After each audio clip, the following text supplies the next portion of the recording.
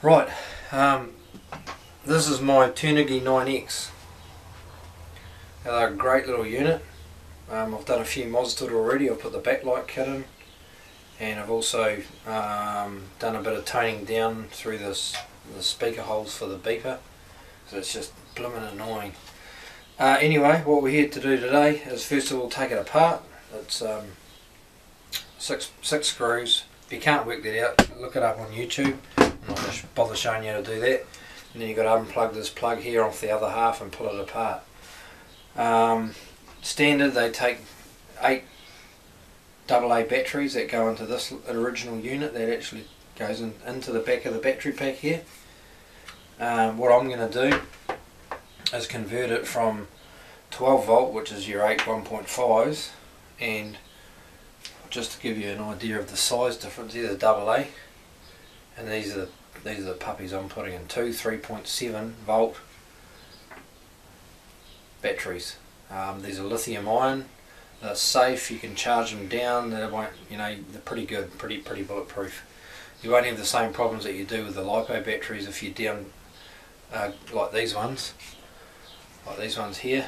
Um, if you suck the power down on them too far they can either short and explode when you go to charge them or they'll never charge back up again because the cells will, will, will die because they overheat. These things you can drag them down to nothing and they'll always charge back up. Anyway so if anybody's done any research on these um, transmitters um, there's some really good sites out there. They run on 12 volts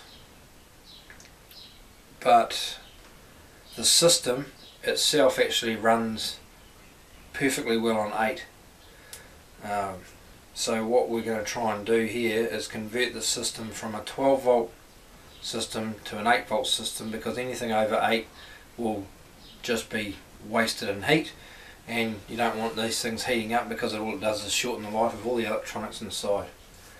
Okay, so, excuse me, this has, I've never seen this done before, so if it doesn't work, hey, it doesn't work.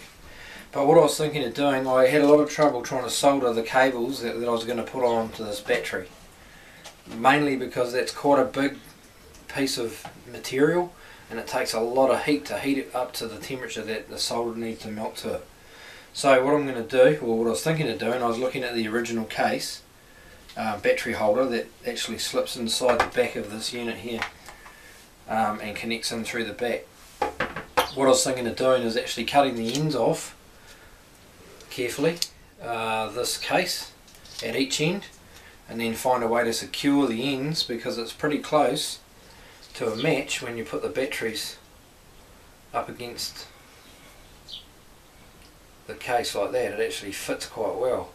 So if we can do away with the rest of the case and actually just use the end plates as our mounting points, we don't have to worry about soldering anything to the batteries, which is good if the batteries do fail, you can replace them, but uh, solder the components to these cables and we'll be good to go, I think.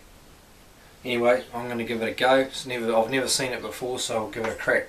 The other thing I want to do is, hey, it's got a friggin' charge point in there for charging your, your unit. Um, unfortunately, it's got a diode in here, soldered on the back side of this board. You can probably see it in the in the back there, right there. There's a little diagram of the diode. Now that's that's a circuit protection problem with this is if you plug it in, it's not going to do anything because it's protecting the rest of the system from from the voltage. So I'm going to cut those two wires off on this charger and I'm going to put them through the holes there in the side and feed them out through the back of the casing here and wire it into my straight into my system so that I can use it to charge. So um, that's got to be good, doesn't it? Um, yeah, so I'm going to give it a go. Um, not too sure if I'll do it all on video, but we'll see how we go. Okay. So we'll see how it goes. Cheers.